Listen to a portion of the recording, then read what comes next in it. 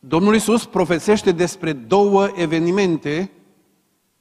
Primul, dărâmarea templului și cucerirea Ierusalimului și împrăștierea poporului Israel printre neamuri și așa cum consemnează evanghelistul Luca, până când se va împlini vremea neamurilor.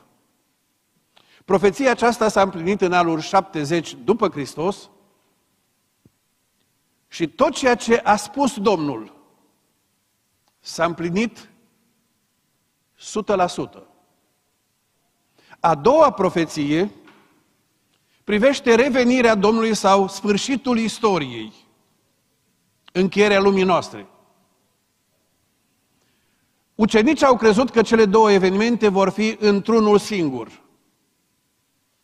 Domnul Isus face limpede că sunt două evenimente deosebite.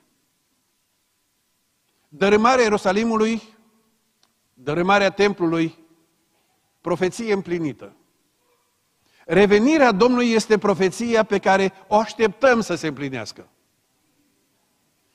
Când ucenicii au auzit din partea Domnului doar profeția cu privire la dărâmarea templului, ei au crezut că asta va marca și sfârșitul istoriei. Ei au pus Domnului următoarea întrebare. Doamne, când se vor întâmpla lucrurile acestea? Preocuparea lor principală a fost să cunoască timpul sau calendarul. Dă-ne data exactă. Am vrea să știm.